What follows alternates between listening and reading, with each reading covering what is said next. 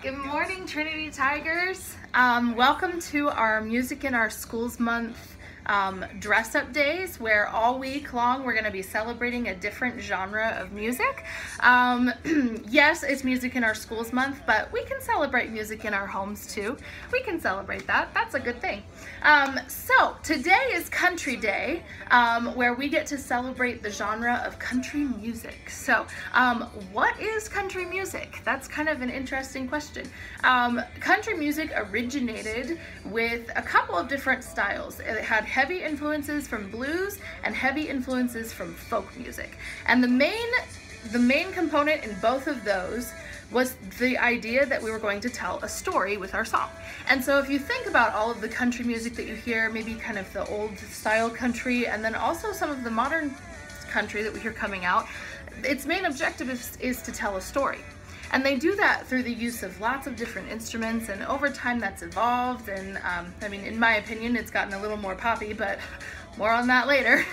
um, but it uses a very various different instruments and um, lots of different ways that that's approached but the main goal is to tell a story. Um, and of course it centers on you know the stories of the people who work out in the fields or the people who work on farms and ranches. Um, that's that's kind of a characteristic quality of country music. Um, not that all country music is about that but it's a very distinguishing characteristic between the other genres. So take some time today, listen to some country music.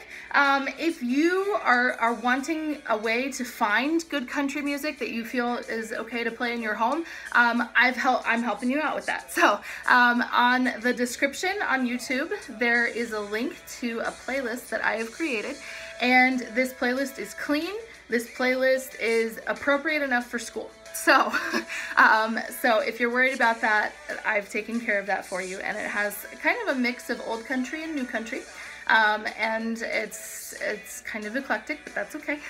um, so lots of different styles within the country genre on that playlist. So if you want some help finding that, that's there. It should be public. You just have to click on it. Um, you might have to have a Spotify account, but you know that's okay. Um, tomorrow is rock day. So get ready to rock out your hair. Um, I don't have color spray, so I'm just gonna do, you know, the best I can. Um, we'll see what I come up with. um, but rock day tomorrow, we're gonna rock out all day. Um, and if you and your families want to take pictures of you dressing up all of these days, um, you can post those, those photos in the comments on our video on the Facebook page. That would be awesome. That way other people can see what you're doing and other people can see that we are, that we're celebrating music, um, whether we're at school or at home. So enjoy.